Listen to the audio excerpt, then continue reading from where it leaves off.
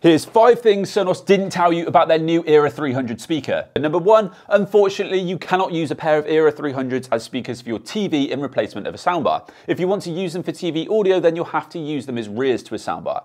Number two, these are only compatible with a Dolby Atmos enabled Sonos soundbar, so just the Sonos Beam Gen 2 or Sonos Arc. Number three, you can wall mount the Era 300, but if you're within two feet of the ceiling, you'll want to mount them upside down to avoid blocking any speakers and get the best sound performance. Number four, you shouldn't put one of these in a bookshelf. You need to give at least two feet of clearance for the height channels and eight inches on the side so the speaker can project sound effectively. And number five, there's currently no support for Google Assistant voice control on this speaker, likely down to some internal issues between Sonos and Google, but for any Google smart home users, it's a no-go on this speaker right now. If you want to learn more, then make sure you check out our full review.